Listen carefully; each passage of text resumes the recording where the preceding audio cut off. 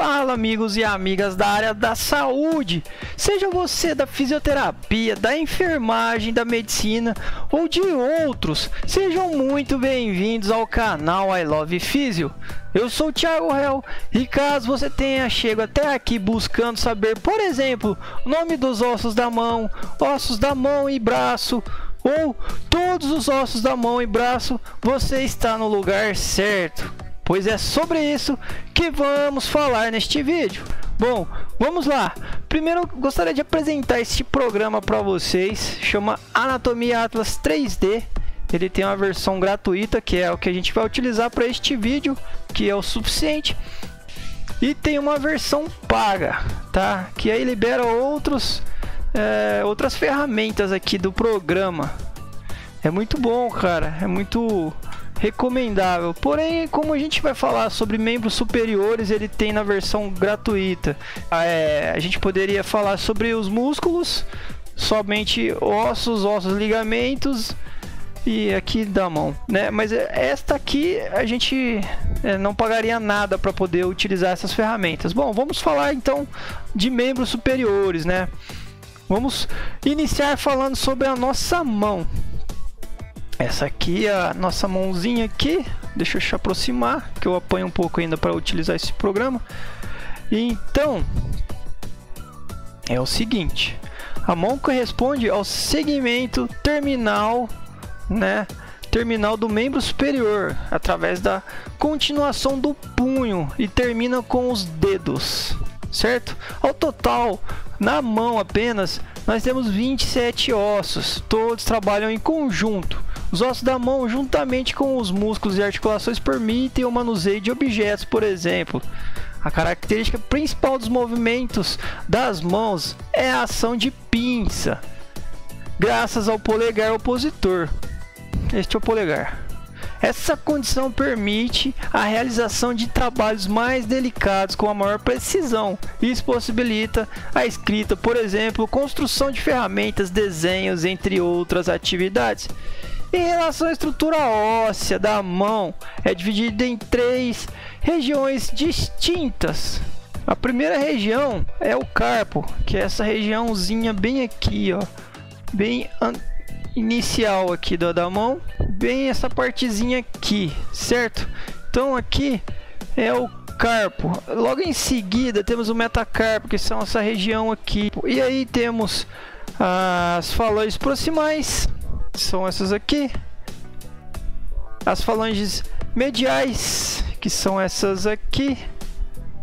O dedão não tem falange medial, certo?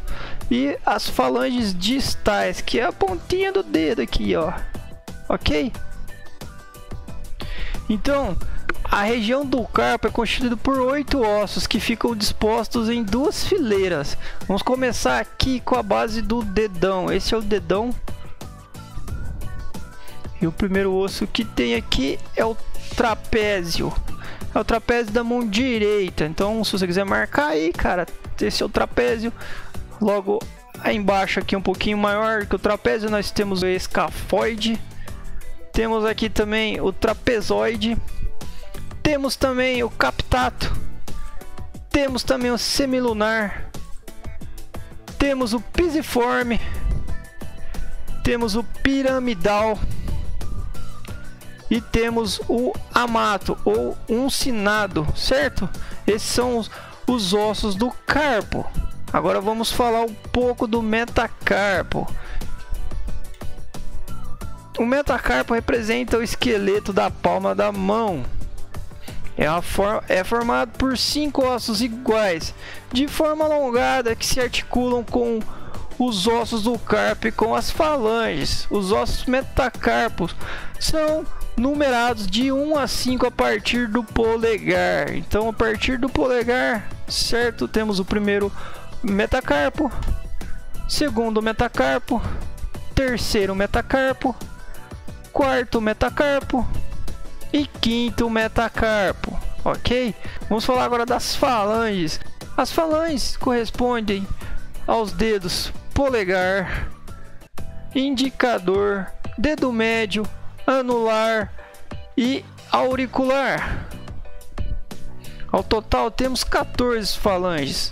As falanges articulam-se com os ossos do metacarpo, que a gente acabou de falar agora há pouco. Cada dedo apresenta três falanges, o polegar tem apenas duas, como já foi citado antes. As falanges são classificadas em falanges proximais, que são essas primeiras aqui. Ok? Essa daqui, ó. Primeira falange proximal, segunda falange proximal, terceira falange proximal, quarta falange proximal, quinta falange proximal. Temos as falanges médias. É a segunda falange média. Terceira falange média. Quarta falange média. Quinta falange média. Essa daqui não é a falange média, é a falange proximal do dedão. O dedão não tem falange média, ele só tem falange distal e falange proximal, essa é a diferença do dedão para os outros dedos. E aí vamos falar das falanges distais, que são as pontas dos dedos, certo? Primeira falange distal, começa no dedão. Segunda falange distal, terceira falange distal, quarta falange distal, quinta falange distal. E esses são os ossos, os 27 ossos da mão.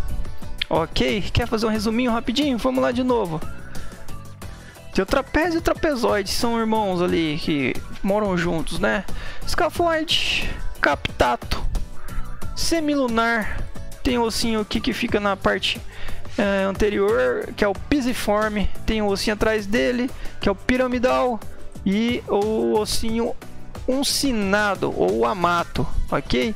E daí temos a primeira, os ossos do metacarpo, que vem o primeiro metacarpo, segundo metacarpo, terceiro metacarpo, quarto metacarpo, quinto metacarpo. Temos primeira falange proximal sempre iniciando pelo lado do dedão, ok? Primeira falange proximal, segunda falange proximal, terceira, quarta, quinta e aí, no dedão não temos a falange medial, então temos a falange distal, primeira falange distal. Porém, aqui nos dedos nós temos a segunda falange média, terceira falange média, quarta falange média, quinta falange média e por último a ponta dos dedos a falange distal, quinta, quarta, terceira, segunda e primeira, certo? Agora vamos ver um pouco os ossos do braço, que são esses tiozinhos aqui, rapaz. Então nós temos aqui o conjunto da rádio, da una e do húmero, ok? O húmero é o único osso do braço e se liga aos ossos da una e rádio, que são ossos do antebraço. Então esse é o, o, o único osso que a gente tem no braço, que é o húmero ok? Esses três ossos, esses três ossos, o húmero, a rádio e a una, estão localizados da seguinte forma: húmero estende-se do ombro, certo, ao cotovelo. Aqui nós temos o cotovelo onde se unem a una, a una e o rádio. Então o húmero ele se une a una e o rádio aqui pelo cotovelo, ok? A rádio estende-se, que a rádio é sempre do lado do dedão. Essa é uma boa referência para você saber qual lado que fica a rádio no braço do seu paciente ou no seu braço. Ele sempre fica do lado do dedão, então a rádio estende do cotovelo ao pulso na mesma direção do polegar e assim também a una, ok? Galera, não esquece de deixar um super like, uma inscrição com o sininho de todas as notificações ativadas para não perder novos vídeos e ajudar este vídeo a chegar a mais pessoas, ok? Bom, voltando, assim como os braços e antebraços, ombros e mãos fazem parte dos membros superiores do corpo humano, a principal função desempenhada por eles é a mobilidade. Então, pessoal, ao todo, a gente esqueceu de falar aqui da parte da escápula. Tava esquecendo, mas não terminamos, né? Então aqui faz parte do, do, dos membros superiores também, né? A escápula e a clavícula. Ao todo, cada membro superior, tanto direito quanto esquerdo, possui 32 ossos, que é o osso do braço, que é somente o húmero, os ossos do antebraço, rádio, que é sempre do lado do dedão, e una, certo? Ossos da mão, que são oito ossos carpais. Vamos fazer uma breve resuminho aqui, ossos carpais, que é o trapézio, escafoide, trapezoide, captato, semilunar, pisiforme, piramidal e o amato, certo? Esses são os ossos carpais. Temos cinco metacarp metacarpais, um, dois, três, quatro, cinco. Temos e as falanges, que são o restante que são total de 14 falanges. Então cada membro, olha cara, isso aqui eu não sabia. Então cada membro possui cerca de 32 ossos. Cerca não. Cada membro possui 32 ossos, tanto o membro direito como membro esquerdo. Bom, galera, esse é um vídeo rapidinho resumindo, né, todos os ossos da mão, do braço e falamos um pouco do ombro também. Espero, espero muito que tenham gostado desse vídeo. Caso este conteúdo tenha lhe trazido novas informações e conhecimentos, não esqueça de deixar um super like e uma inscrição com o sininho de todas as notificações ativadas, galera. Bom, meus queridos e queridas, eu vou ficando por aqui. Um grande abraço, fiquem com Deus e tchau!